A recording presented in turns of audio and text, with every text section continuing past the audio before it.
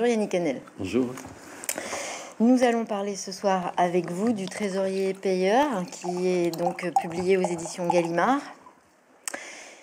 Bon, alors euh, par quoi commencer? Il y a beaucoup de choses quand même dans ce livre. hein. ce serait facile de commencer par le titre, dont vous dites que l'intitulé est solaire. Un trésorier payeur, en tout cas, ça vous a emmené directement dans un univers en soi. Déjà, juste cette appellation. Oui, c'est un, un nom qui m'a été, c'est un mot qui m'a été donné. Bon, il est dans le dictionnaire, hein, il est à tout le monde. Mais quelqu'un l'a prononcé devant moi dans une circonstance que peut-être on va raconter, que, que je raconte dans le livre. Et, euh, il a suscité immédiatement euh, un, un- un désir de fiction. Enfin, j'avais envie de le, de l'habiter, ce nom-là. De... C'était très bizarre parce que c'est un nom qui me, c'est un mot, pardon, qui me, est pas très sexy, enfin a priori, euh, et qui m'emmenait vers le 17e, 18e siècle, enfin vers les collecteurs d'impôts. Je sais pas, j'avais dû lire ça dans Diderot, je sais pas, dans Voltaire. Bon, mais c'était pas ça qui m'a plu. C'était une dimension, bah, c'était le mot trésor.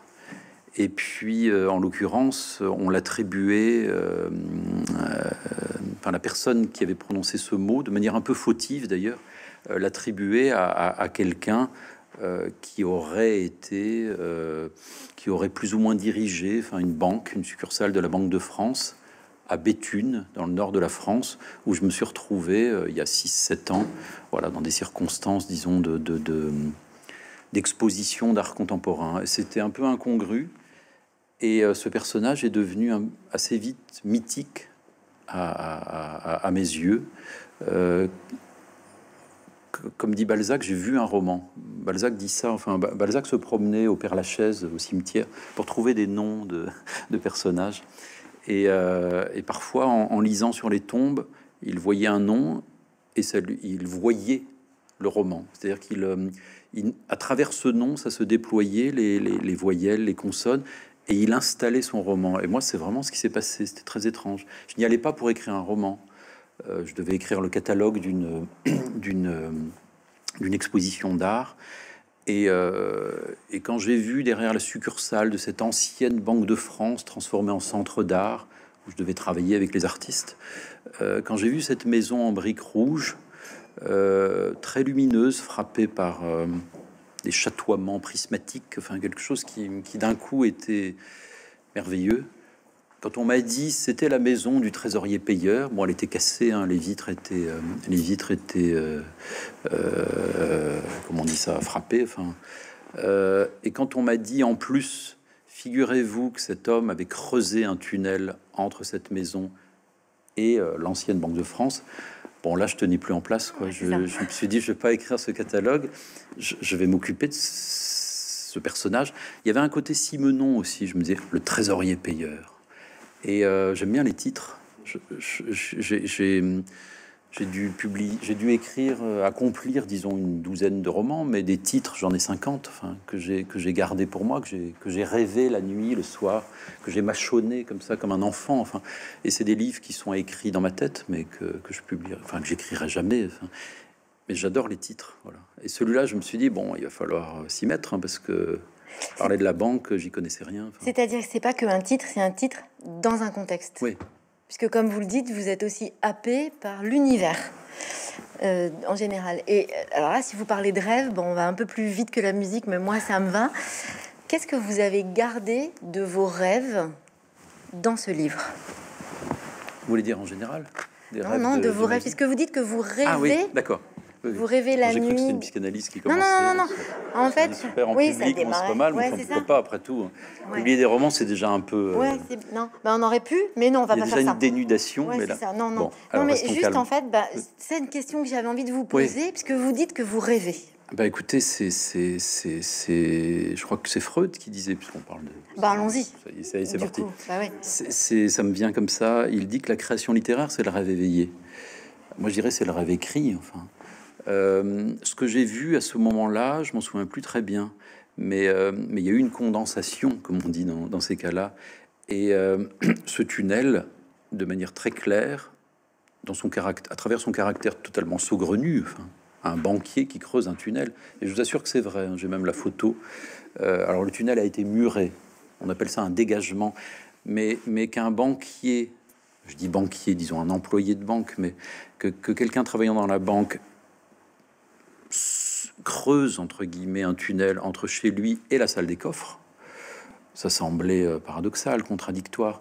Et donc j'ai rêvé de, bah, j'ai rêvé. Euh, c'est pas que je l'ai vu, mais je me suis mis dans la disposition d'esprit, dans l'état d'écriture, comme dit Duras, enfin, pour euh, pour que ça vienne. Enfin, parce que moi je suis pas un enquêteur. J'ai pas. Parfois, j'ai essayé, j'ai essayé de, de, de, de, jouer au journaliste, mais je le suis pas. En fait, j'aime bien divaguer. Alors je me documente, mais je suis pas allé chercher euh, cet homme qui a forcément existé. Euh, j'ai préféré dans mon coin comme ça rêvasser. Alors les, petits, comment dire, ces fragments euh, de rêve, je dis rêve de, fantaisie au fond, de scène. Ça avait à voir avec cette ville où je, où je j'ai travaillé avec les artistes. J'étais là pour cette exposition, même si j'ai pas écrit le, catalogue, j'étais quand même là. Je leur parlais de Georges Bataille, mais on en reparlera tout à l'heure, parce que c'était consacré cette expo à l'influence de ce, cet écrivain philosophe Georges Bataille sur euh, enfin, l'influence qu'il pouvait avoir sur l'art. Il devait produire des œuvres. Donc je l'ai, je suis pas spécialiste de, cet écrivain, mais je l'adore. Et donc je, le, je leur lisais des trucs. J'étais resté là quelques jours. Et en me promenant, j'ai découvert qu'il y avait cette ancienne Banque de France très belle, transformé en centre d'art, avec les, guichets en marbre, avec les petits ascenseurs pour billets, avec évidemment la salle des coffres, ténébreuse à souhait. Euh, et euh, j'ai découvert en me promenant, j'étais en voiture, j'ai découvert les terrils. Moi, je viens d'une famille mineure, mais en Lorraine.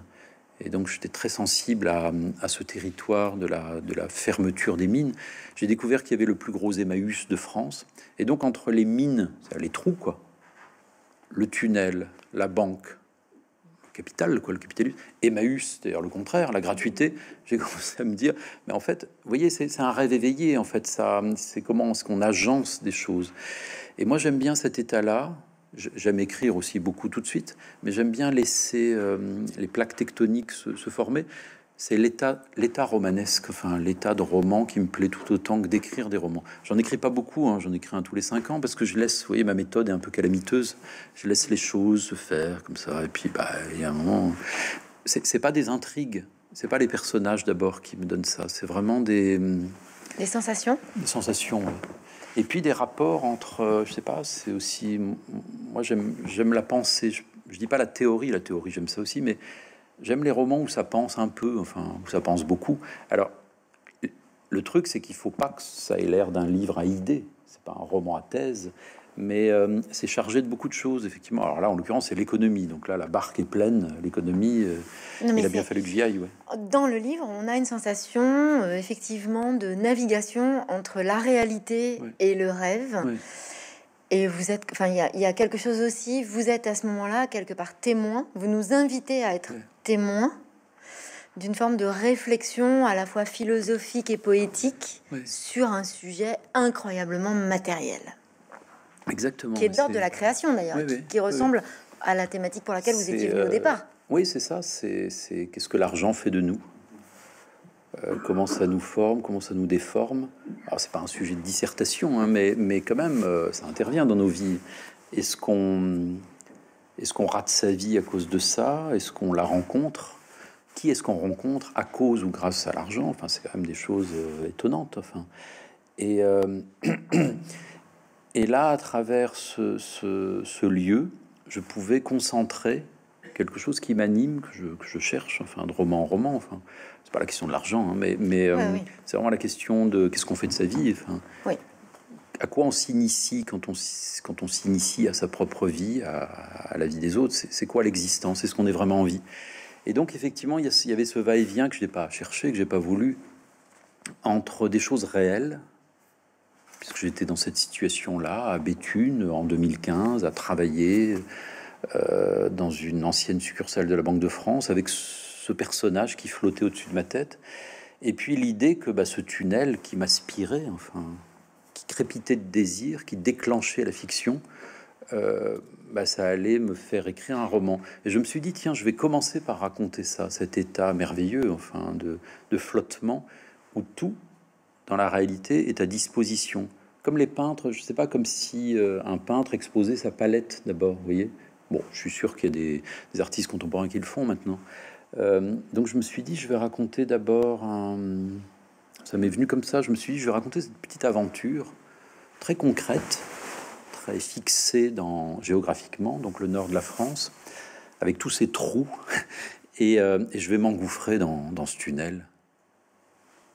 Et sans m'engouffrer dans ce tunnel, ça voudra dire écrire un roman. Donc je vais passer de la réalité au roman, parce que au bout de 50 pages, j'ai mis le, j'ai mis le making of en un sens au début. Au bout de 50 pages, ça s'arrête, on glisse, et je raconte l'histoire de, de, cet homme que j'ai que j'ai peu à peu apprivoisé dans ma tête, enfin que j'ai inventé, voilà. Que vous appelez Georges Bataille. Alors voilà, j'ai un peu compliqué la situation.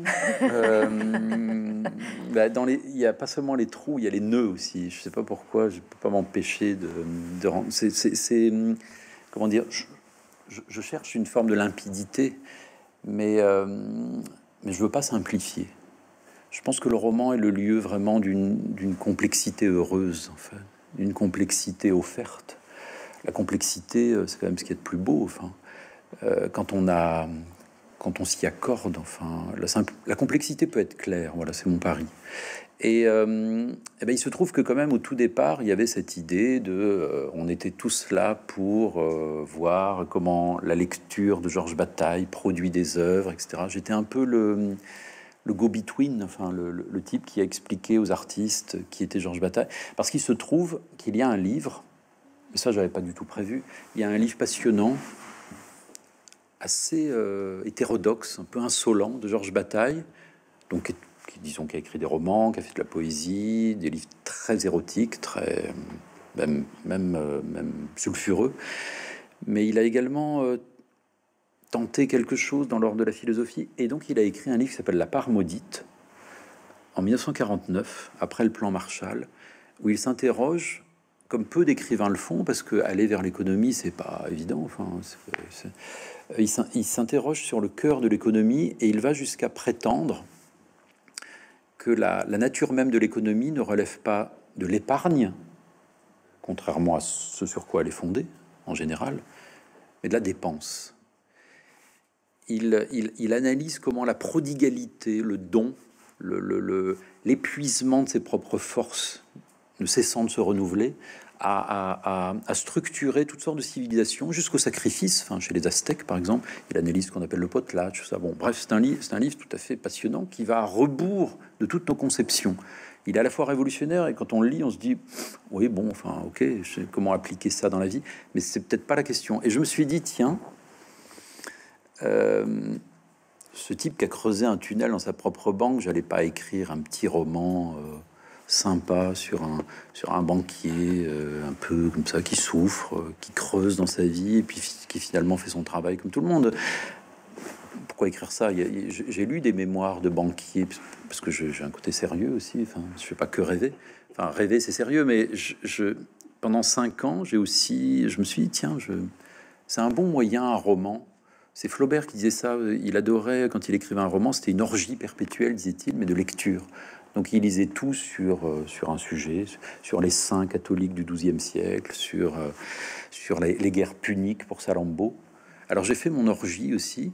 C'était pas super marrant, je veux dire, mais, mais j'ai appris euh, énormément de choses sur les cracks économiques, sur la crise, le capitalisme. Parce qu'après tout, l'économie, on, on, on, on s'y intéresse pas assez, c'est trop, ça nous intimide, sauf qu'on se fait avoir en fait par l'économie si on s'intéresse pas à l'économie, elle, s'intéresse à, nous, hein, ça c'est sûr, elle nous ligote.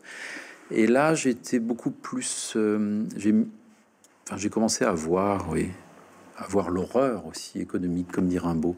Et je me suis dit, je vais envoyer ce personnage à ma place, en quelque sorte, pour agir.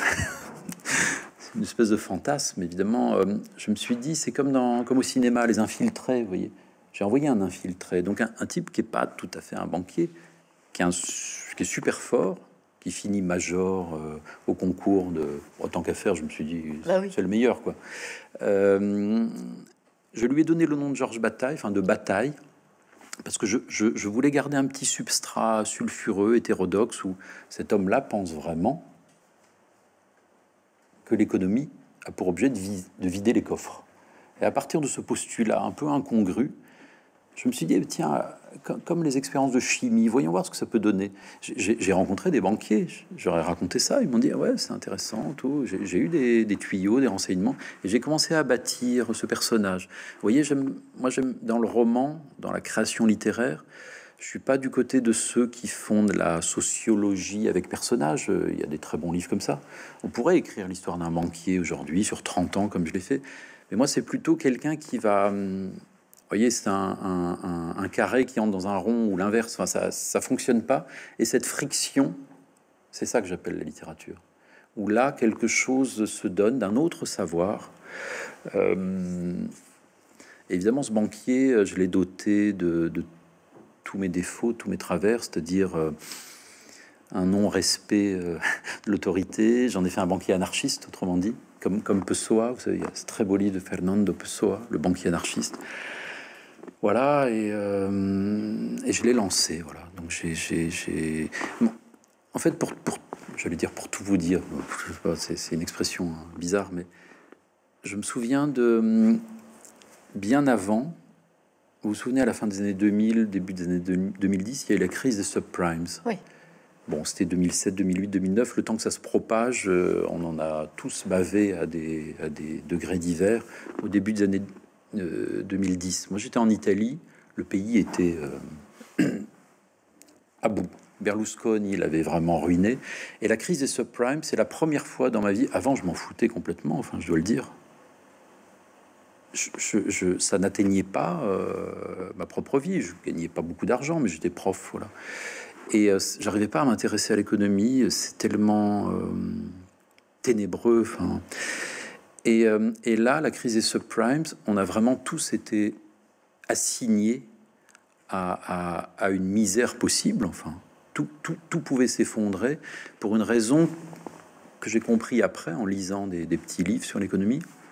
C'est qu'en fait, là, cette spéculation-là, cette crise, euh, nous visait directement. Je veux dire par là que les fonds de, les fonds de pension, cette spéculation-là, ça se faisait grâce à la dette des pauvres.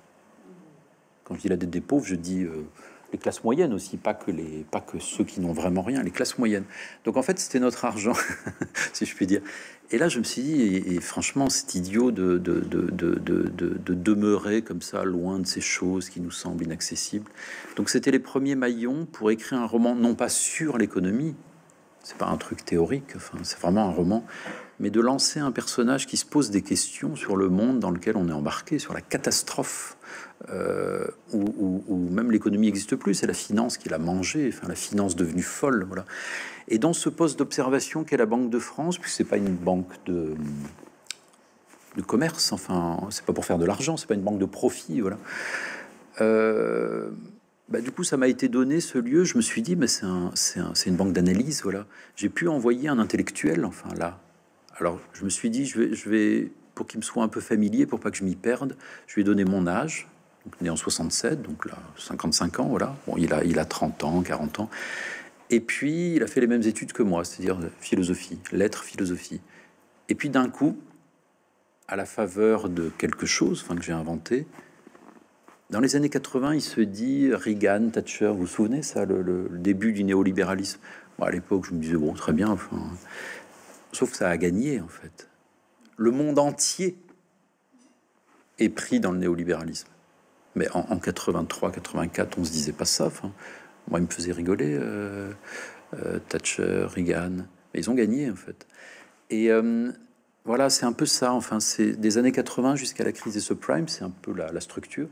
Et j'ai envoyé un personnage avec ses aventures amoureuses, sexuelles, intellectuelles, ses, phobies, ses... et puis, et puis ce qui se passe enfin, avec l'argent. Enfin, et alors, vous l'envoyez dans cette banque avec la responsabilité de traquer finalement euh, tous ces organismes de crédit qui trichent. Donc il y a quelque chose de, dans votre écriture du rapport à la justice aussi. Oui. Alors ça c'est peut-être parce que comme je suis chroniqueur à Charlie Hebdo depuis quelques années, enfin après les attentats, moi je les connaissais pas, c'est pas ma culture d'ailleurs, mais ils m'ont appelé en, vous vous souvenez, janvier 2015, à la fin de janvier, j'ai eu un coup de fil on m'a demandé si j'avais envie de travailler à Charlie Hebdo. J'étais un peu. Euh, ah, pas super à l'aise, quoi. Mais j'ai pensé que c'était la chose à faire, donc j'ai dit oui. On était plusieurs écrivains. Il y avait Marie Dariussec à l'époque, qui n'y est plus. Robert McLean Wilson, qui est toujours. Lydie Salver, mais qui était très malade, qui n'a pas pu y travailler. Bon, bref, des années ont passé et je me suis occupé, à la demande de Riss, du, du procès J'étais le chroniqueur de Charlie Hebdo pour le procès, vous vous en souvenez, en 2020. Vous avez fait les un attentats livre, hein, voilà, contre Charlie Hebdo, l'hypercaché. Alors, cette question de la justice, bon, on a tous ça en nous, mais, mais là, je dois dire, pendant ces trois mois, ça m'a complètement. Euh, autant la politique, euh, j'étais engagé quand j'étais un jeune homme très, très radical, autant ça, ça a fini par me dégoûter totalement. Autant la justice, c'est quelque chose qui, dont je pense qu'elle est la véritable politique. Euh, et, donc, c'est vrai que j'avais pas fait le rapprochement. Euh, je m'étais interrompu pour écrire ce roman. Enfin, j'avais interrompu ce roman, pardon, pour euh, me rendre tous les jours au palais de justice. Il y avait des attentats pendant ce temps-là, pour interrompre ce procès. Et c'est vrai que je lui ai assigné quelque chose qui est une véritable tâche à la Banque de France. J'ai l'air d'être un spécialiste de la Banque de France. D'un coup, je dois dire je m'en fous un peu. Enfin, je suis un écrivain. Enfin, je, y a, tout m'intéresse, mais je suis pas là pour vanter le travail qui est fait par la Banque de France. Bon, il se trouve qu'il délégué par la Banque de France. Figurez-vous que non. D'accord. Bah, ça serait pas mal si, si, Ce serait pas, s'il me payait tout ça. Enfin, Je sais pas pourquoi pas. Mais alors j'ai découvert effectivement quelque chose qui m'arrangeait bien parce que c'était c'était aussi des pistes que j'avais commencé à défricher. J'écris beaucoup, beaucoup chaque jour à la main, dans plein de directions possibles, toutes les scènes en même temps. C'est calamiteux comme méthode, je veux dire. Parce que bah, ça marche bien, hein, attendez. Bah, sauf que ça fait des gros livres et il faut 5-6 ans pour les écrire. Et puis bon, enfin c'est. Bref, j'ai découvert que bah, qu'une des tâches historiques et toujours contemporaines de la Banque de France, c'est de s'occuper du dossier des surendettés. C'est-à-dire que il y a des personnes qui sont insolvables, comme on, nous dit à la banque. C'est-à-dire que plus aucune banque ne va leur prêter d'argent parce que, bah, voilà, ils ont, ils peuvent plus rembourser. c'est, la misère est trop grande. Et la Banque de France les récupère et étudie avec la justice justement, étudie la possibilité d'effacer leurs dettes. Alors ça, c'est dans l'idéal. Enfin, et euh, mais euh, voilà, il se trouve que sont il se trouve que ce sont des, gens, et dans le Nord, quand j'y étais, parce que j'y suis allé plein de fois, après j'y allais tout seul en voiture, comme ça, pour euh, voir des paysages, rencontrer des gens, aller au bistrot, je discutais avec des gens. Ça nourrissait mon livre, enfin. Euh, et en tous les cas, il n'y a pas besoin d'être grand clair pour voir la misère, hein, ça c'est sûr. Euh, et, je voyais sans cesse en arrivant dans les, vous savez, comme les, les, débuts des villes, enfin quand vous arrivez, c'est tout moche, enfin les zones industrielles. Il y avait des grands panneaux, euh, je ne vais pas dire les noms, mais euh, d'organismes de crédit qui sont de véritables escrocs en fait, qui vous, qui vous disent, vous avez besoin de 3000 euros, mais on vous les donne tout de suite. Ils vous disent pas, ils, vous, ils ne vous disent pas que c'est un prêt, ils vous les donnent. Et vous imaginez des gens qui sont au bord du suicide Sauf qu'il y a un taux d'intérêt 18, 19, 20, 20 25%. Au bout de trois semaines, il y a quelqu'un qui passe chez vous tous les jours. Euh, je dis pas qu'il est armé, mais euh, il vous terrorise. Enfin, si vous avez 30 euros, il vous les prend. Euh, et donc, c'est un cauchemar. Et il se trouve que la Banque de France, j'ai découvert, luttait contre ce genre de personnes et la justice aussi. Et donc, je me suis dit, voilà, cet homme ce philosophe un peu marxiste, enfin, qui cherche une vérité euh, dans ce monde impitoyable de la banque. D'ailleurs, ses camarades, euh, parce que je retrace ses études, je retrace tout, lui disent Mais qu'est-ce que tu vas foutre Franchement, euh, tu vas, tu vas, tu vas chez l'ennemi, en fait. Mais lui est persuadé que le cœur des choses, on est dans les années 80, le cœur des choses et le cœur des choses à venir, ce sera là que ça va se jouer. Et que si on continue à, à écrire des livres, à faire de la philosophie comme ça, en se tenant à l'écart de ce cœur obscur, noir, terrible, eh ben, ce sera qu'une manière de s'auto-satisfaire, sera une espèce de masturbation intellectuelle. Il veut y aller à, la mine, c'est le cas de le dire. Enfin.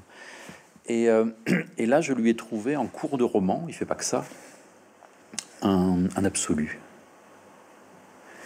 Euh, parce qu'effectivement, ce jeune homme, euh, donc quand je le fais arriver à Béthune dans cette banque, euh, bon, il est un peu brillant, disons, donc il est repéré par le, par le directeur, Charles de Rennes, qui va lui confier quelque chose qui est d'accueillir les, les dossiers des, surendettés. Et alors cet, être, ce jeune homme là, bataille, le trésorier payeur.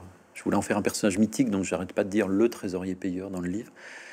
Euh, comme il est un peu excessif, euh, n'oubliez pas que c'est quelqu'un qui pense que c'est la dépense qui, fait fructifier l'existence, tout donner, tout, dépenser, se dépenser. Et eh ben cet homme, euh, face au surendetté, en l'occurrence un couple avec un, vieux polonais qui est plus très en forme et, sa jeune femme, il va voir que ça va pas marcher leur dossier, qu'il y aura du temps enfin. Et comme ils vivent dans une voiture, bah, il décide comme ça sur un claquement de doigts de les héberger. Et dans cette décision, c'est le genre de décision qu'on prend comme ça sans même, sans même y avoir pensé avant, mais qui deviennent, une des, qui deviennent des décisions destinales. Enfin, on joue son destin. On a fait quelque chose comme au poker, en fait. On a un peu à l'aveugle, mais on se révèle. Et il se trouve, vous vous souvenez, cette maison devant laquelle j'avais flashé là, en brique rouge avec le prisme, bah, je l'ai mise dans le livre, quoi. Et c'est sa maison parce que ça peut pas être la mienne, euh, j'aurais adoré. Mais euh, du coup, je l'ai attribué à ce, à ce, garçon, et elle est merveilleuse. Il est tout seul, il y a au moins, il y a au moins six chambres là-dedans. Enfin, bon, je peux, je pourrais en construire s'il y a un autre tome, encore des chambres, mais et il y a un jardin merveilleux, et donc il les héberge. J'ai imaginé que, euh, que, ça faisait un peu scandale là-bas, que le, journaliste de La Voix du Nord avait entendu que tiens, il y avait le banquier de la Banque de France qui hébergeait des pauvres. Enfin, et euh, les gens sont un peu ironiques, enfin j'ai imaginé ça, mais en même temps, euh, il y a d'un coup une action éclatante, enfin un coup d'éclat extraordinaire même à ses propres yeux. Et effectivement, Bataille, donc ce jeune homme, va découvrir au cœur de l'économie, au cœur de, cette prédation pour le profit, un lieu, et c'est ça son tunnel peut-être, je sais pas, c'est très mystérieux à mes propres yeux. Je ne sais pas ce qui se loge dans ce tunnel. Je me suis dit qu'il allait découvrir en, lui, dans la banque peut-être, c'est son utopie, un lieu irréductible, un lieu où il y a encore de l'innocence. Moi, si j'écris des livres, c'est parce que je suis travaillé par ça, par, par le fait qu'on n'est pas complètement broyé par, euh, par tous les systèmes et par tout ce qu'on élabore dans nos vies qui nous empêche, enfin, qui a une part, enfin, qui dans mon cas est à l'intérieur du langage, dans la dimension intérieure du langage, que cette part est, éminemment poétique, mais qu'elle ne se réduit pas à quelque chose de nébuleux comme ça, qui serait, qui serait juste là pour, pour, pour, nous, pour ne pas nous désespérer, non, qui est la vérité même. Je pense qu'il y a une part indemne en chacun de nous. Alors la vie, les vies, les vies qu'on a usent cette part indemne, mais il y a quelque chose d'intact. Enfin, Rimbaud le disait, je suis intact. Enfin, c'est dans à la fin des Illuminations. Euh, d'une saison d'enfer, pardon. Ça m'est égal, je suis intact. Et euh, cette part minuscule, j'ai voulu faire un qui est en chacun de nous, voilà, l'indemne, ce qui échappe étymologiquement, l'indemne, ce qui échappe aux dames, à la damnation, à l'enfer. J'ai voulu en faire le sujet d'un livre, c'est-à-dire quelqu'un chez qui cette part est immense en fait. Il passe presque pour un bonnet parfois, parce que les gens lui disent ouais ça va, t'es un banquier qui fait la charité, n'importe quoi. Enfin. Et euh, sauf que, sauf qu'autour de lui, bah, voilà, bah, les choses, euh, bah, ça, ça, ça, crée une brèche, voilà, ça ouvre une brèche dans la société. Vous dites marxiste. En réalité, quand on lit votre livre, on pense plutôt à un saint. Oui, c'est vrai. Dans le sens, vous l'avez dit tout à l'heure, quelque part, il a une forme d'innocence. Vous utilisez le mot charité qui est un mot, en fait, à bien y réfléchir. Depuis que j'ai lu votre livre, je me suis dit, mais ça fait combien de temps que j'ai pas entendu ce mot ou lu ce mot En même temps, il a euh, quelque chose de très brut. Il est poète, mais il est brut au sens de la pierre précieuse. Il est, euh, en fait, c'est comme si il avait réussi à écarter quoi La contrainte bah, la contrainte, non, parce que, pardon, le mot saint me plaît beaucoup. Hein. Je, vais, je vais revenir, puis le mot charité, enfin, c'est ahurissant ce, ce qu'il y a là-dedans. Il n'a pas réussi à enlever la contrainte, mais aussi parce que bah, la contrainte, c'est, je dis pas que c'est bien, mais euh, après tout, euh, aller travailler le matin, euh, bah, bien sûr, on peste. Mais parce que là, ce, ce, jeune homme est complètement aliéné. Il est, il est, il est astreint à des horaires euh, comme nous tous. Enfin, Mais la contrainte d'être, pardon, je vous interromps, la contrainte d'être dans une posture parce que Alors on voilà. est à cet endroit-là? Alors voilà, c'est, c'est, c'est- il est en contradiction avec lui-même. Ça, c'est sûr. Il s'avance masqué. Il doit, il doit s'occuper de, de- de quelque chose, euh, d'un lieu. Son poste, c'est ça, c'est être là, euh, dans le capitalisme, si je puis dire. Alors même, que, euh, alors même qu'il est voué à essayer d'y, creuser une galerie, en fait. C'est, ça, en fait, cette métaphore prégnante qui m'a, qui m'a, qui m'a travaillé. Euh, il sait pas, il sait pas exactement ce qu'il fait ni ce qu'il est. Je, je rappelle que c'est un tout jeune homme au fond, mais euh, mais il y a quelque chose précisément qui n'est parfois dans nos vies, enfin dans nos actions, qui n'est pas répertoriable par la société. La société croit qu'elle a raison. Je veux dire euh, ce à quoi on adhère. Enfin, heureusement qu'il y a la société. Sinon on serait tous en train de se- s'entretuer sans doute. Mais la société a fini par devenir, par prendre la place de toutes les subjectivités. Et euh, il se trouve qu'il y a des choses qui ne sont pas homologables dans la société, qui pourtant sont plus fortes. Et alors lui, bah, c'est cet absolu étrange qu'il va découvrir en lui, qui est une place, qui est une préférence dévorante pour autrui. Voyez, c'est une chose euh, ahurissante, enfin, de préférer les autres. Euh, D'avoir tué son narcissisme à un point tel que euh, on se jette à la tête des autres. Alors, érotiquement, amoureusement, c'est génial. c'est l'amoureux fou. Enfin, je, retrace son itinéraire. Donc, sur 30 ans, il, rencontre un certain nombre de, femmes avec qui il va expérimenter le fait de se donner sans compter. Enfin, euh, mais, euh, mais dans la banque aussi, ça va avoir lieu. Ça s'appelle la charité.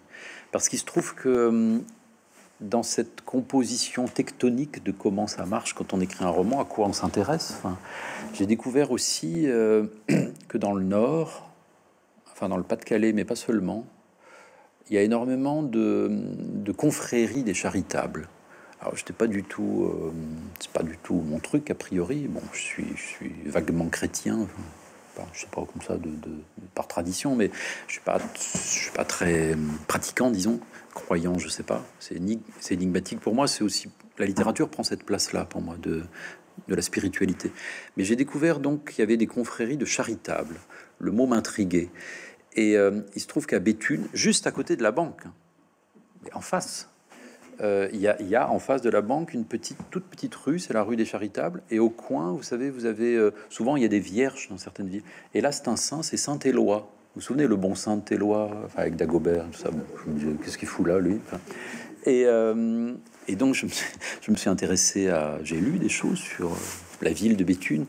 Et il se trouve que bien souvent, dans, enfin, dans beaucoup de villes du Nord, dans ce qu'on appelait les Flandres aussi, avant, il y a eu la peste, euh, début et milieu du Moyen Âge, et il y a eu toutes sortes de, de, de- réactions euh, spirituelles à ça. Et bon, je vais pas tout vous raconter, mais, mais euh, il se trouve que ce que Éloi, enfin comment dire, qu'on a qu'on a fondé ce qu'on appelait à l'époque une carité. Une charité, c'est une, une carité, c'est un, lieu de rencontre entre plusieurs personnes qui vont sur la foi d'un vœu, enfin, qui vont, je sais pas, qui vont, qui vont fonder une église, disons, et alors du coup, quelqu'un va les délivrer du mal. Voilà, c'est une croyance. Et depuis, il est resté une confrérie laïque. C'est ça qui est très très intéressant. Confrérie laïque de gens qui, qui ont la possibilité de produire ce qu'on appelle les œuvres de miséricorde. Moi, il y a quelques années, j'avais écrit passionnément un livre sur le Caravage et j'étais allé à Naples voir ce tableau stupéfiant qui s'appelle les sept œuvres de miséricorde. Et donc je m'étais dit, c'est quoi ce truc, les sept œuvres de miséricorde? J'ai relu les évangiles et dans Matthieu, il y, a, y a ça, enfin, vêtir ceux qui sont nus, donner à boire à ceux qui ont soif, euh, etc. Et surtout, ensevelir les morts. Cette confrérie des charitables, c'est des vieux messieurs, mais pas seulement. Euh, Je suis allé les voir à Béthune, et c'était incroyable parce que je- j'ai assisté avec eux, en le suivant dans la ville, à, un cortège où ils allaient enterrer quelqu'un qui était mort et qui ne voulait pas être enterré, selon le rite chrétien. Donc, qui est allé, euh, enfin, qui avait, la famille est allée frapper à la porte de cette confrérie. Et il se promène en, noir avec une grande cape, un bicorne et un, espèce de chose, j'ai pas le mot, mais dans le livre, euh, le livre est mieux que ce que je dis. Hein. Euh, c'est plus précis, c'est plus frémissant. Et il y a le mot, enfin, je sais plus, la baguette, je sais pas quoi.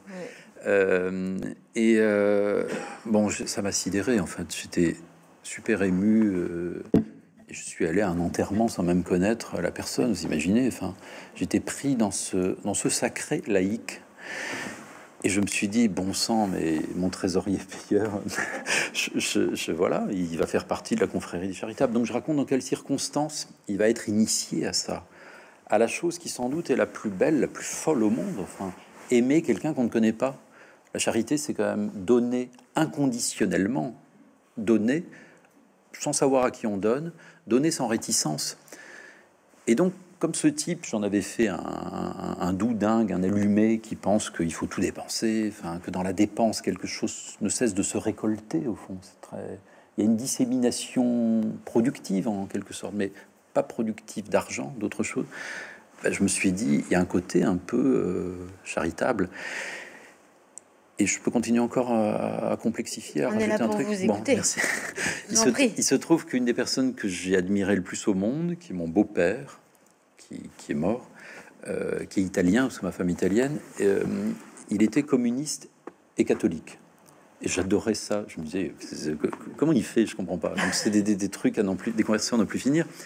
En France, c'est moins. Euh, bon, il y a eu comme ça les, les, les, prêtres de gauche, disons, dans les années. L'abbé Pierre, disons. Mais communiste et catholique, c'est quand même un truc. Et alors, je me souviens que cet homme qui s'appelait Floriano, il gueulait contre Moscou. Il trouvait qu'ils étaient nuls, c'était pas assez, c'était pas la pureté du communisme. Et il gueulait sans cesse contre le Vatican. Il les trouvait euh, obscènes, débiles. Ils avaient rien compris au catholicisme. Et, euh, et donc son héros, et c'est aussi le mien, on avait le même. C'est Saint François d'Assise. C'est-à-dire qu'effectivement, communiste entre guillemets, la communauté, et puis anticapitaliste au sens où, les, premières communautés franciscaines, là, 12e, 13e, ils étaient contre le début de la monnaie, enfin de la valeur, enfin de donner une valeur aux choses. Toute chose devait être égale, enfin les animaux comme les humains. Et, euh, bon, ça, m'est resté. Je me suis dit, euh, c'est une solution au sens chimique, enfin, pour cet homme. L'alternative dans sa tête à ce capitalisme-là, c'est un mélange bizarroïde de, Saint François d'Assise et de, mon beau-père. C'est-à-dire là où je sais pas quelque chose de bien, enfin dans le dans le christianisme, enfin dans la catholicité, et quelque chose de d'encore très beau dans l'idée de communisme se rejoint. Et eh ben voilà, c'est mon livre. Et il y a une dimension tout à fait sacrée dans ce livre. À plein de moments, il y a une attention sur ce qui peut être sacré quand on le décide, en tout cas. Quand il arrive devant la Banque de France, il en fait un palais. Il le voit comme un palais. Alors, je trouve c'est pas sans s'éloigner non plus de la vision du veau d'or. Il y a quelque chose comme ça qui, qui rappelle l'évangile. En même temps, quand il arrive devant sa maison à lui, qui pour le coup euh, n'a rien de, de, fantastique au sens, euh, au sens de l'apparat, il est totalement émerveillé. En même temps, il prend du temps le matin pour apprécier le soleil. C'est-à-dire qu'il a un lien à la nature qui est de l'ordre du sacré. Et donc, ce personnage, donc j'y reviens, vous en faites un saint qui en même temps est parfaitement coloré par un instinct du juste et du pas juste. Donc je termine cette longue explication, euh, pardon, par le tunnel dont vous dites dans ce livre, le tunnel, soit c'est une obsession, soit c'est une évasion. Et vous décidez que pour donc, ce personnage-là, ce sera une obsession. Mais en réalité, c'est aussi une évasion. Bien sûr, oui. Donc, ce tunnel, quelque part, il représente quoi pour vous maintenant que vous avez terminé ce livre? Wow. Vous avez 3-4 heures devant vous? Je suis un peu déshabillé, là, c'est bien. D'habitude, c'est moi qui me déshabille. Et euh, c'est moi qui dis. Pardon, excusez. Non, c'est génial. Pardon. Non, non, mais là, c'est la chose. Enfin, mais vous savez, euh, c'est pas pour, c'est pas une entourloupe, mais ce tunnel, ça demeure un peu mystérieux à mes propres yeux. Et euh, j'aime bien écrire des romans comme ça où, où on peut pas le vouloir, le mystère. Ce serait tout à fait indécent et grotesque. Ça, ça se fait comme ça. Mais une fois le livre fini, j'ai bien vu que quelque chose flottait. C'est pas que ce soit pas résolu, mais est-ce qu'une vie peut être résolue? Euh, je, voyais que quelque chose continuait à, scintiller qui relève du sacré. Mais alors c'est un sacré sans transcendance, c'est le sacré euh, qui, nous, qui nous atteint ou qui se dérobe dans notre propre vie. Alors effectivement, il y a quelque chose d'un peu païen chez lui. Bon, c'est, il est très, euh, comment dire, c'est un érotique. Hein, lui, il a, il a un érotisme euh, je vais pas dire torride, c'est le mot qu'on sort. en général, je le, je barre, c'est débile le torride, mais ardent, voilà. C'est un ardent. Et je pense que penser, c'est être ardent. Écrire, c'est être ardent. Il y, a, une, il y a un feu en lui. Et c'est un, timide, c'est un, un, un, jeune homme un peu pas très assuré, mais qui a également une souveraineté en même temps. Et, euh, et cette souveraineté se dépense par l'amour. Enfin. Et donc, effectivement, son sacré, bah déjà, il a, il a la conscience de ça. Il a la conscience que peut-être euh, bah, dans notre civilisation occidentale, pour dire des grands mots, euh, on a mis l'argent à la place de Dieu. Et euh, qu'il y a eu comme ça une espèce de substitution sacrificielle. Enfin, il en a vraiment conscience enfin, que, que, que, le, que le territoire dans lequel on se meut, c'est celui de la disparition progressive du sacré au profit euh, du calcul. Enfin, le calcul a pris la place. À tel point qu'effectivement, cet homme, lui, il est requis par, non pas une refondation du sacré, mais dans sa vie, les choses se passent, comme dans la mienne, vraiment, la plupart du temps, les décisions, les moments, les époques, le début, les fins, euh, ont lieu euh, à travers des extases, en fait. Pas à travers la vérification d'une, je sais pas trop quoi, de ou de l'accomplissement d'un acte, mais à travers des choix poétiques. Et donc effectivement, euh, ce type va, euh, je sais plus en, à quelle date, en 87 je crois, j'ai inventé qu'il euh, qu'il avait un stage d'été, un job pour payer ses études. il remplace un copain à la Banque de France à Paris. Lui vit à Rennes. Il prend un train, il y va, c'est super. Un mois, mois d'août, à la Banque de France, pourquoi pas. Enfin, il a 20 ans, c'est un peu romanesque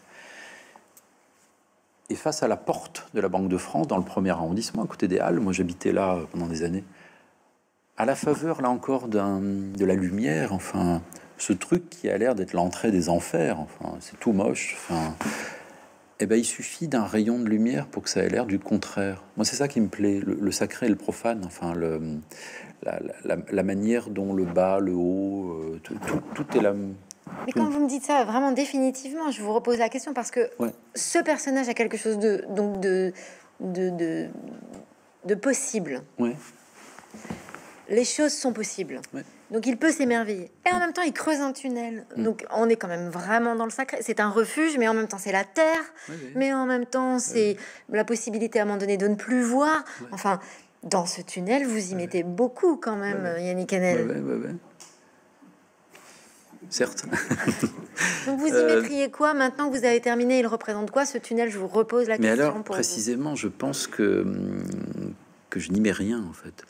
Des choses y sont, mais c'est. Je, pense que comme sur un échiquier, ce qui permet euh, les déplacements, c'est la case vide. Il y a une case vide. Euh, cette case vide, elle peut recevoir, elle peut s'accorder à, à une disponibilité, euh, je sais pas, pour Dieu, disons, pourquoi pas, euh, pour euh, l'amour fou, pour une solitude qui ne composera avec personne. Cet homme est très seul. Donc c'est un roman initiatique qui nous amène à réfléchir tous autant qu'on est à l'endroit où nous pouvons essayer de réfléchir à quel est le sacré pour nous hmm, On peut le dire comme ça, voilà, ça, me paraît pas mal. Ça vous irait Ouais, on dira plein d'autres choses, mais euh, ça, me paraît. Allez-y sur le plein d'autres choses, je vous écoute. Ah non, mais moi je suis pas là pour décrypter euh, ce que j'ai fait seulement. Enfin, je, le fais là abondamment, vous avez vu. Oui, mais, j'aime bien, j'aime bien. Mais il y a, hum, mais euh, je sens bien, euh, puisque je l'ai écrit, comme je vous disais, en, essayant de faire parler cette indistinction entre euh, les images, enfin le rêve, la réalité, il est, il est évident qu'il y, a un mystère, c'est le mystère de notre existence. Hmm. C'est comme si vous me disiez, c'est quoi le mystère de votre existence, comme, comme si je le savais. Non, en fait, je vous, là où je veux vous emmener, donc on y va, c'est que finalement, l'ensemble de votre œuvre, Yannick Canel, converge vers cet élément qui est la recherche de Bien sûr, ouais. tout ce qu'on peut enlever, qui serait comme des couches accumulées de l'éducation, de, ça la- c'est vrai. ouais. de notre société, pour arriver à quoi? À ce que Bah- nous sommes profondément? Absolument. Tout à l'heure, je parlais de l'indemne à ce point qu'il est très difficile, peut-être même euh, pas souhaitable, de, de, de- de fixer dans les coordonnées l'espace. Enfin, ce point qu'on transporte avec nous, qui est un point de solitude, mais aussi de rencontre. Ce point où, euh, effectivement, on est enfin délivré de toutes les aliénations, de toutes les attaches, de tout ce qui nous définit de l'extérieur. Un point libre. Et en tant que point libre, moi, c'est ce qui m'anime quand j'écris, enfin, euh, en tant que point libre, je peux uniquement le définir comme un lieu. Alors cette fois-ci, je lui ai donné le, le contour d'un tunnel. Vous voyez comme c'est imprécis, mais justement, enfin, qui, relie l'intimité perdue qu'on a dans chaque vie, notre enfance, qui est la maison, là, ici, une maison, euh, la maison rêvée, en fait, parce que c'est le jardin aussi, c'est la lumière. Et puis ce lieu où on va au turbin, quoi, à la mine, comme on dit, euh, cette expression, aller à la mine. Et euh, bon, voilà, c'est ce, c'est ce lieu, euh, comment dire ça? Je cherche le mot. Bah, J'en ai prononcé plein des mots qui, qui sans doute disent ça, l'innocence, voilà. À un moment dans le roman, je crois qu'on on se fout de sa, on se paye sa tête, pardon, euh, parce qu'il a un côté prince Mishkin, enfin, et on lui dit ah c'est le prince Mishkin de Béthune, enfin c'est l'idiot de Dostoevsky, c'est l'idiot quoi, parce que parce qu'à sa manière, euh, à sa manière doucement illuminée, il, il révèle en fait. Les gens se sentent un peu, euh, comment dire, euh, les gens de la Banque de France, assez, en le fréquentant, juste quand il est là à côté en train de manger, lui il dit rien, hein. mais eux ils, sentent bien qu'ils sont pas nets, ils sentent qu'ils sont un peu souillés quoi, parce que lui il a hum, sa part d'indemne, il la rend publique sans cesse. Il est là, il parle de ça. Et ce- alors vous disiez tout à l'heure, on est en plein dans les années Reagan et Thatcher, Ouais. mais on est aussi en plein dans les années Mitterrand. On est aussi en plein dans les années Bernard Tapie qui passe à la télé Ouais. en faisant des shows avec des boules à facettes, en disant euh, super, devenez tous patrons. On est en plein dans un show perpétuel Ouais. de l'économie. Et vous, vous décidez de mettre en scène ce personnage-là avec euh, une nature assez innocente et vous lui donnez le détail qui change tout, c'est qu'en fait les autres le voient comme un personnage amusant et non pas vindicatif. Oui, c'est vrai. oui. Au fond, je pense qu'il a, dû- il a, il a dû comprendre que hum, Et pourquoi vous faites ça? Parce que amusant ça passe mais pas vindicatif? Euh, attendez, Euh, deux secondes. Euh, il, il travaille à la Banque de France. Je veux dire par là qu'il va pas commencer à, tenir des discours. euh, le vindicatif, c'est impossible. Non pas qu'il soit tenu à un devoir de réserve, mais, mais euh, lui, ce qu'il aime précisément, c'est sa personnalité. Il est, c'est quelqu'un d'ondoyant. Enfin, c'est de composer avec et éventuellement de déborder de manière imperceptible les choses. S'il commence à se révolter contre le, vous vous révoltez contre le capitalisme, vous êtes sanctionné immédiatement. Enfin, c'est quand même l'histoire des révolutions ces 50 dernières années. Enfin, ça se saurait si la révolution, euh, si les révolutions euh, l'emportaient. Je dis pas qu'il faut cesser d'y croire. Moi-même, j'y ai passé beaucoup de temps dans ma vie, mais mais euh, mais sérieusement, quand on quand on va le matin travailler à la Banque de France, on, on va pas brûler sa banque, enfin, ou alors, euh, ou alors on n'y travaille plus. Et donc c'est un, il, il fait un autre pari. Enfin, encore une fois, un pari qui est pas ré- répertoriable sociologiquement. C'est pas un opposant, même pas un opposant de l'intérieur.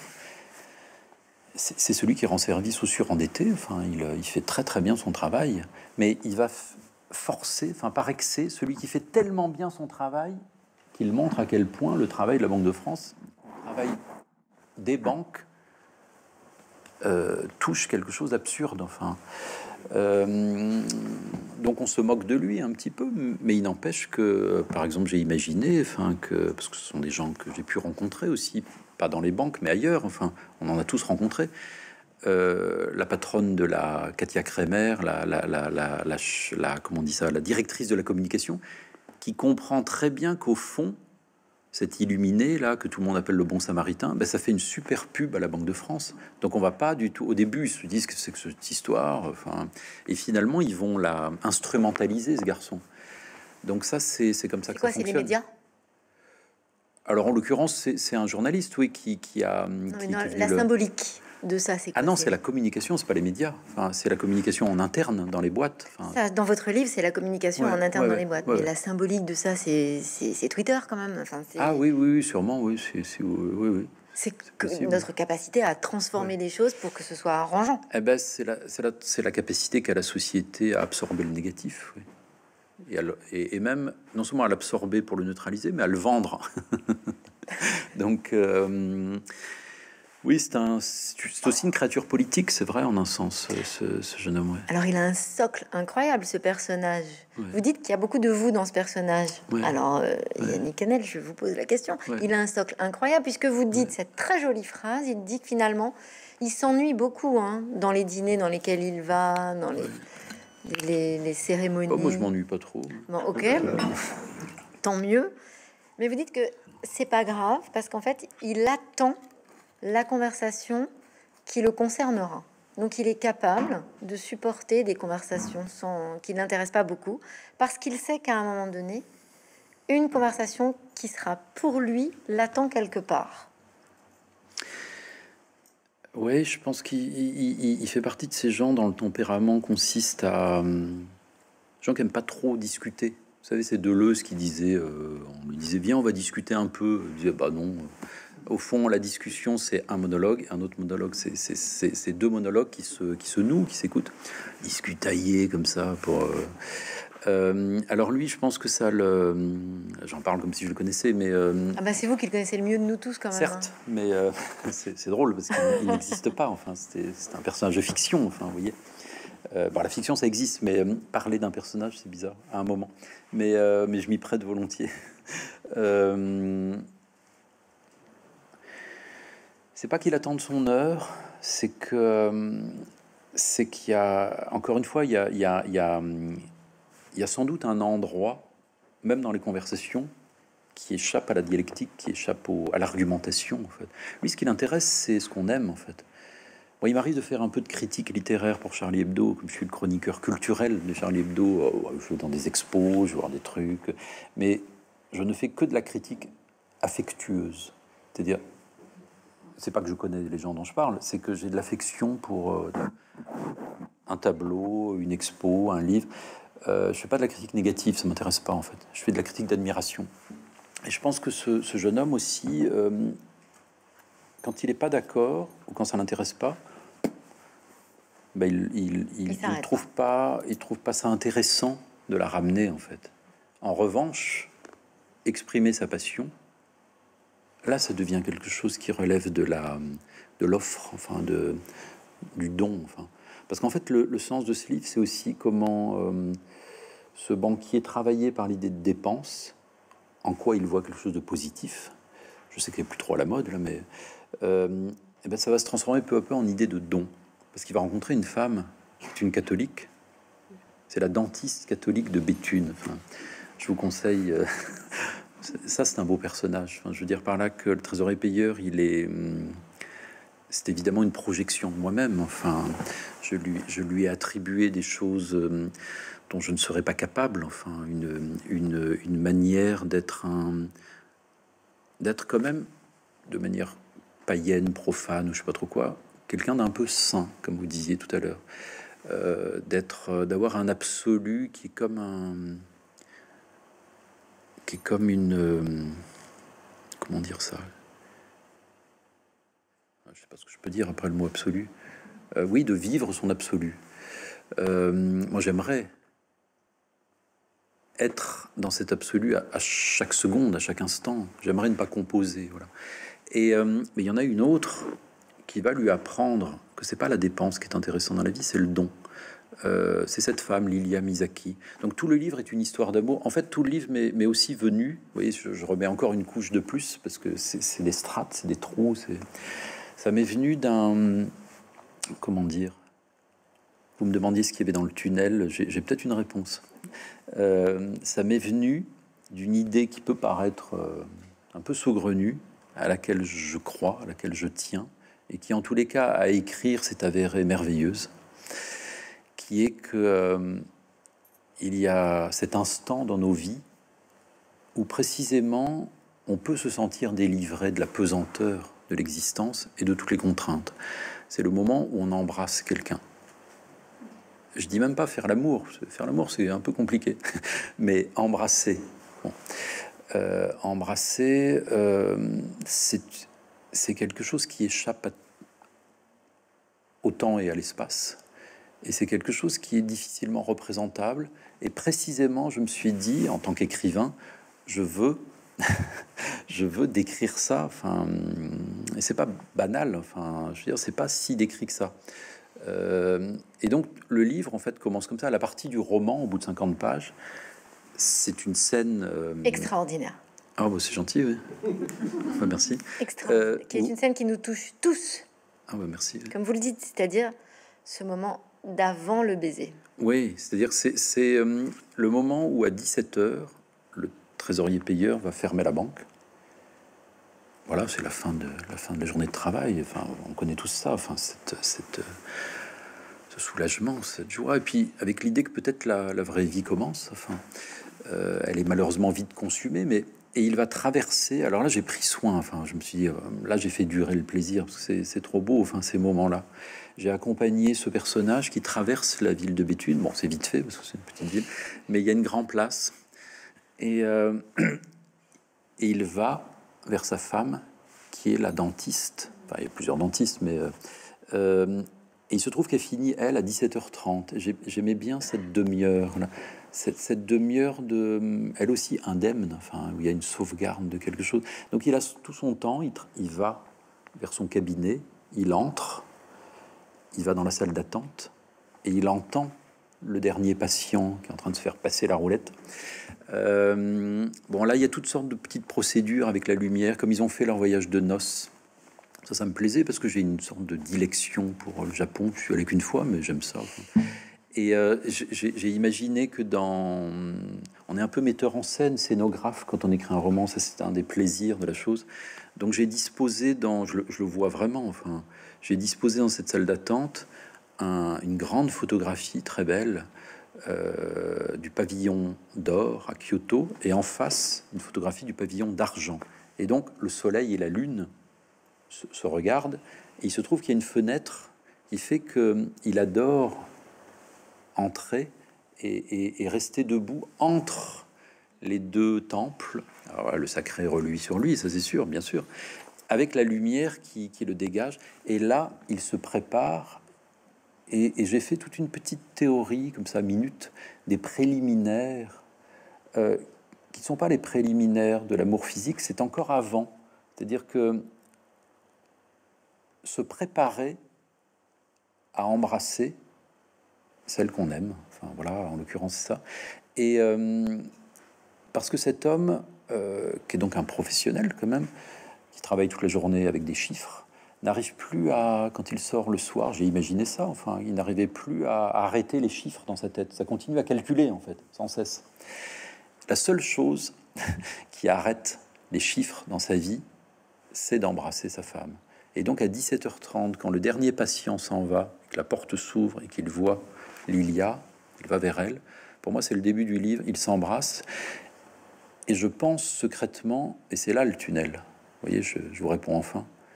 Tout le livre est contenu, en fait, parce que dans ce moment où ils s'embrassent, un moment qui est au fond euh, fini et infini, et, il se trouve que j'opère tout un retour en arrière, parce qu'à partir de ce baiser, je vais raconter l'histoire de ce jeune homme, 20 ans avant, etc., truc classique. Mais en fait, tout le livre, c'est le baiser.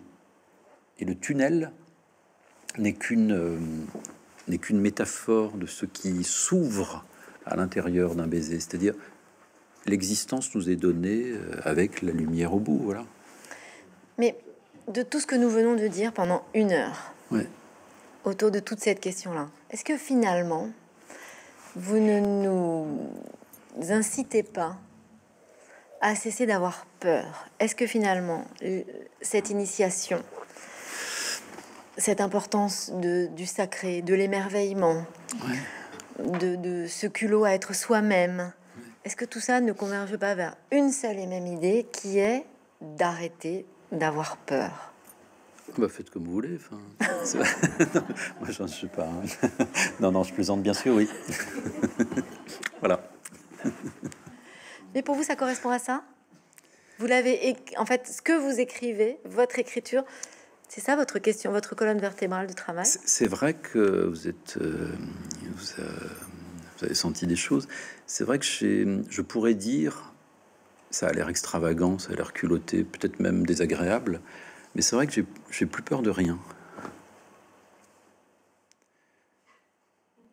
Je, je sais pas, je m'en fous.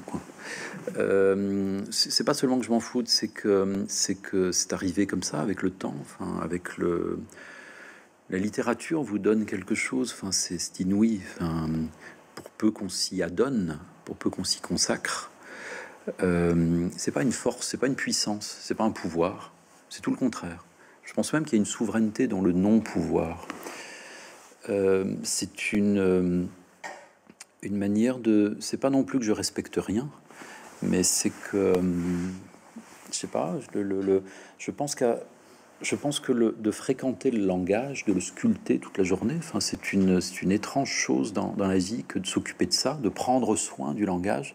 Et en fait, le langage, pour peu qu'on le, pour peu qu'on s'y ouvre, pour peu qu'on qu'on parvienne au fil du temps, et je ne sais pas si on y parvient, à avoir de bons rapports avec le langage, vous octroie bah, de bons rapports avec l'existence. Enfin, j'ai l'air d'un gourou là. Enfin, mais euh, je pense que tout est là. Enfin, à la manière dont on s'exprime, on, entend euh, le rapport fondamental qu'on a avec l'existence.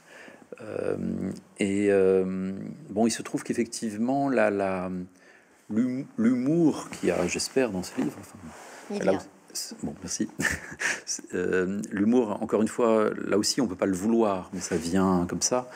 Cette, euh, je sais pas quoi, philosophie de la vie, ou je saurais pas la, dire, enfin, que j'ai représenté à travers un personnage, c'est vrai que c'est quelque chose qui, relève d'un, non plus d'un face-à-face, c'est plus une guerre avec l'existence, moi, j'ai été longtemps en guerre avec l'existence, avec moi-même, au fond. Euh, c'est une espèce de décontraction attentive. Voilà, je dirais ça. Je pense que ce, jeune homme, euh, il s'intéresse à tout, en fait. Il s'intéresse aux autres passionnément. Enfin. C'est son côté un peu cateau, sans doute, mais euh, qui lui a été donné par, par, sa femme. Enfin. Mais il a l'ardeur, il a le feu. Enfin, c'est une vestale, vous voyez. Moi, je pense que la littérature, ça a à voir avec ça. Vous savez, chez les anciens Romains, il y avait des, jeunes femmes qui devaient veiller sur le feu. Ben, moi, je suis l'une d'elles, en fait. Je me vois comme ça. Et le feu, c'est pas une chose ancienne. Je suis pas en train de vous dire, bah, la littérature, plus personne l'a fait. Euh, je suis en train de la garder. Non, non, c'est pas, c'est pas ça. C'est que hum, c'est euh, le feu du langage qui est là tout le temps. Qu'est-ce qu'on en fait? Comment est-ce, comment est-ce qu'on le destine Enfin, comment on en prend soin pour le, pour le, pour le révéler, pour le faire être, enfin pour le donner. Enfin, euh, ça c'est ma vie. Et euh, la littérature, c'est la partie émergée de ça, enfin expressive, presque politique. Enfin, effectivement, ça dit quelque chose. Alors, comme vous disiez, oui, n'ayez pas peur au sens où on, sait bien sûr tous qu'on est effrayé avant tout par des choses qu'on s'est inculquées comme des poisons, enfin, ou qu'on nous a inculquées. Euh, c'est pas un adepte d'une liberté, euh, comment dire, euh, encore une fois vindicative, cet homme-là. C'est beaucoup plus. Ça a à voir avec la matière scintillante, féerique de l'existence. Enfin, c'est pas non plus un jouisseur, c'est pas un osseur, même s'ils font l'amour comme des fous. heureusement pour lui. Enfin, mais, mais non, c'est un. J'aurais envie de finir là-dessus c'est quelqu'un qui. J'ai trouvé cette phrase chez Nabokov. Je sais pas si vous lisez Nabokov, c'est un, auteur extraordinaire. Enfin, moi, j'aime Proust passionnément parce que ça, implique aussi une, patience à le lire. On est rétribué quand on le lit. Mais Nabokov, dans le genre, ça va plus vite. C'est encore plus. Euh, parfois, je me dis qu'il va plus loin. Enfin, Ada ou l'ardeur justement de Nabokov, c'est un livre prodigieux. Et alors, j'ai pris soin de de mettre une phrase que j'ai choisie avec précision en exergue de ce livre. Cette phrase dit ceci Je veux caresser le temps. Et waouh euh, Là, c'est vraiment la.